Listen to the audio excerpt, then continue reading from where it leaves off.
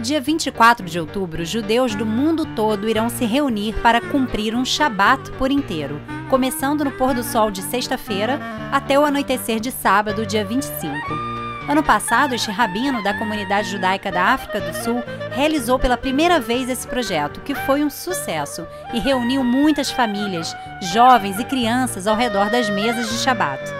A Etcheren mora no interior e vem ao Rio para cumprir o Shabat aqui no dia do Shabat Mundial.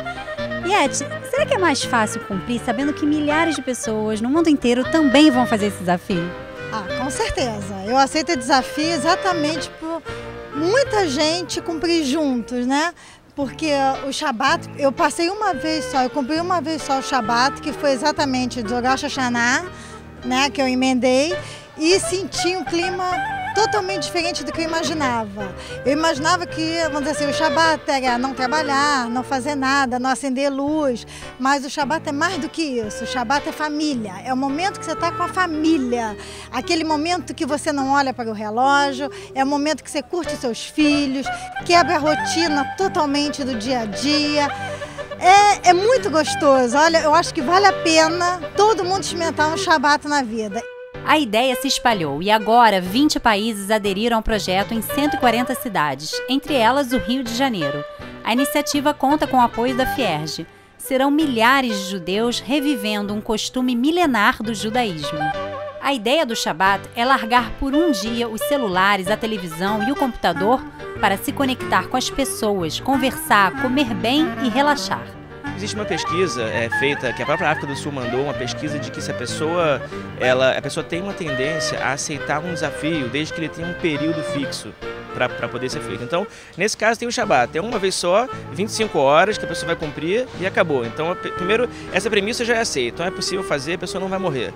Todas as sinagogas, centros para jovens e clubes estão preparados para receberem as pessoas com várias atividades para todas as idades e gostos haverá três pontos de atividades em conjunto nos bairros do Leblon, Copacabana e Tijuca. E convido a todos vocês para, junto comigo, na sexta-feira, compartilhar desse evento maravilhoso, desse Shabat Mundial. Em cada local haverá aulas como preparação de ralá, jantares coletivos, almoços em casas de família, rezas, aulas, recreação para as crianças e a cerimônia de encerramento com a Avdalá. Na sexta-feira à noite, nossos frequentadores convidam as pessoas a irem em suas casas para participar da refeição festiva do Shabat. Já no sábado, nós teremos o tradicional e gostosíssimo especial Chunt da Francisca para todos que estiverem presentes. Todo o povo judeu está unido para cumprir esse Shabat. O Rio de Janeiro, todas as sinagogas e centros comunitários estarão unidos para esse Shabat. Inclusive, algumas pessoas fala, farão no seu salão de festas, que será o caso de São Corrado, onde não tem sinagoga. As famílias ao redor vão se reunir dentro de um salão de festas para comemorar essa data. Muitas pessoas estão convidando famílias e casais para passar um verdadeiro Shabat em suas casas e transmitir o clima deste dia aos convidados. Hélio e Karen Nigri vão acomodar uma família em casa e estão animados com a ideia. A refeição do Shabat é um momento muito especial, né, de você estar com a família, etc. Então você também poder trazer pessoas e, conversar de uma forma tranquila. Eu acho que é uma coisa que, que a gente sempre gosta de, de, de fazer e é um momento muito especial, realmente.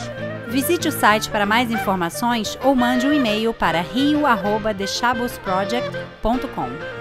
O Shabat tem valores muito grandes. Quem não cumpre, quem não conhece, é, acha que o Shabat é só do que não pode. Mas, na verdade, quem cumpre, quem realmente vivencia o Shabat, sabe que o Shabat é o que pode. Então, nesse dia, é, os pais vão ter que dar atenção para os filhos. Por quê? Não pode andar de carro com o filho. Então, ele vai andar na rua de mão dada. Né? Que pai que não vai dar um valor, que filho, mais ainda, que não vai dar valor de andar de mão dada com o filho com o pai nesse caso. É, o pai não vai poder acessar a internet, não vai poder ver televisão. Então ele é obrigado a, a, brincar com o filho, senta no chão e brinca com o filho. Quantos pais e mães não fazem isso? O marido dá uma atenção para a esposa que normalmente ele não dá porque ele está trabalhando. Então, nesse dia, no Shabat, é para poder valorizar a família, não é para ficar rezando. O objetivo não é esse. O objetivo é exatamente fazer, valorizar a família e esse que é o verdadeiro é, grandeza e valor do Shabat. É isso que a gente quer que todo mundo possa fazer.